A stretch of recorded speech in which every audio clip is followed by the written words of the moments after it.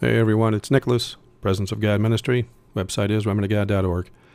Uh, you might want to scroll down to the third article in the headline section today. It's uh, titled "Sister Wives Wins," or yeah, Sister Wives Family Wins Ruling in Bigamy Suit. I already got the article tabbed out.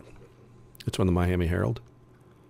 And I'm going to read the first sentence. It says A federal judge ruled Friday that key parts of Utah's polygamy laws are unconstitutional, handing a legal victory to a polygamous family that stars in the TV reality show Sister Wives.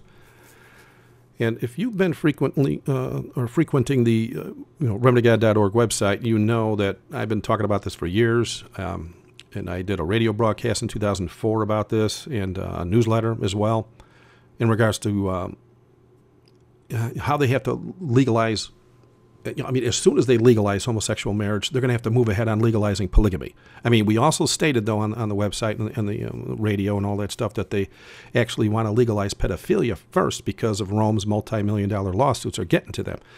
Uh, and legalizing pedophilia will make the Roman priests appear more moral in society's eyes since it's legal, right? Uh, but you know, society isn't ready for that yet. I mean, they're not. They're just not ready to legalize child molestation yet. So they have to first legalize homosexual marriage, and they've done that, and then polygamy. And now we see doing just that. I mean, we've, we've seen it all along, like with all the articles that I've been sharing, how they're pushing here and pushing there all over the place to try to get polygamy legalized.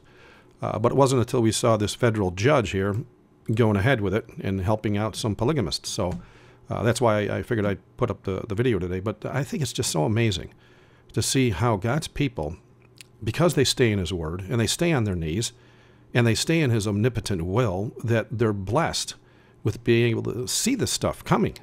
I mean, with eternal blessings like that, it's a wonder to me as to why there aren't more obedient Christians in the world today. But then that too was prophesied. And what I mean is just go to remnantofgod.org and uh, scroll down to the prophecy section and go down to soon fulfilled and go down to the bottom where it says 144,000. It'll bring you to this page here. On the bottom, I actually did a uh, sermon series a while back on this. Uh, the Gideon band, uh, we like to refer to them as, or the 144,000. And if you want some additional information as to what the Old and New Testament says about homosexuality and how it's wrong and sinful, and you also want some information as to why homosexual uh, uh, marriage is legal now, it has to do with the lukewarm Christians. It's their fault. And uh, so just go to YouTube and type in homosexual marriage uh, with a question mark, and you'll come to my video. So anyway, this is the reason I did the video today was to get that out there in regards to that polygamous situation. So uh, please subscribe. Um, please share the video with as many as you possibly can. And again, thank you for watching. God bless.